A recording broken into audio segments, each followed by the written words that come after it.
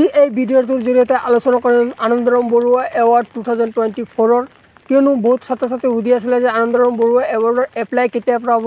Already apply start হৈ গ'ল পোন্ধৰ জুলাইৰ পৰা আৰু লাষ্ট ডেটটো কেতিয়া আৰু কোন অকল ছাত্ৰ ছাত্ৰীয়ে এপ্লাই কৰিব পাৰিব আৰু কি কি ডকুমেণ্ট লাগিব সকলো ইনফৰ্মেশ্যন লগত আজিৰ এই ভিডিঅ'টো। সেইবাবে বহুতে গুৰুত্বপূৰ্ণ হ'ব গৈছে তোমালোকে স্কিপ নকৰাকৈ শেষলৈ চাবা।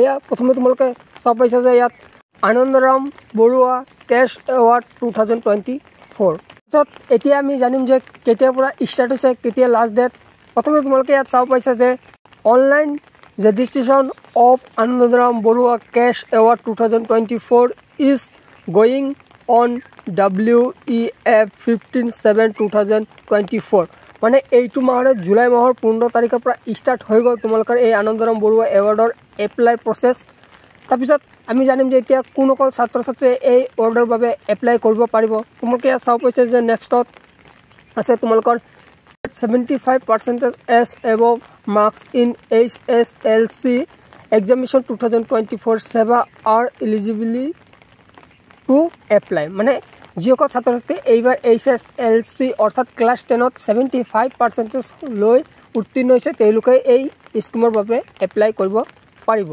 আমি জানিম যে লাষ্ট ডেট কেতিয়া তোমালোকে ইয়াত চাব পাইছা last date of online registration twenty five seven two thousand twenty four মানে এইটো জুলাই মাহৰে পঁচিছ তাৰিখে লাষ্ট ডেট হয় তোমালোকৰ তোমালোকৰ ষ্টাৰ্ট হৈছিলে fifteen seven two thousand twenty four last ডেটটো হ'ল তোমালোকৰ twenty five seven twenty two thousand twenty four তোমালোকে চাব পাইছে বেছি দিন নাই আৰু সেইবাবে তোমালোকে অতি শীঘ্ৰেই তোমালোকে এপ্লাই কৰিলে যদি তোমালোকৰ এপ্লাই কৰাৰ ভিডিঅ'টো লাগে তেন্তে কমেণ্টত জনাব মই তাৰ ওপৰত ভিডিঅ' বনাই তোমালোকক আপলোড কৰি দিম। তোমালোকে চাই এপ্লাই কৰি ল'ব পাৰিবা। আৰু এই ভিডিঅ'টো তোমাৰ বন্ধু বান্ধৱী সকলোলৈ শ্বেয়াৰ কৰিবা কিয়নো সিহঁতে চাই এই গম পাওক যে ষ্টাৰ্ট কৰাটো এপ্লাই হ'ল। যদি সিহঁতৰো মানে কেনেকৈ এপ্লাই কৰা ভিডিঅ'টো লাগে তেন্তে কমেণ্টত জনাব ক'ব। আজিলৈ ইমানতে মিলিছোঁ। পুনৰ লগ পাম নতুন এটা ইনফৰ্মেটিভ ভিডিঅ' লৈ তেতিয়াহ'লে তোমালোকলৈ ধন্যবাদ।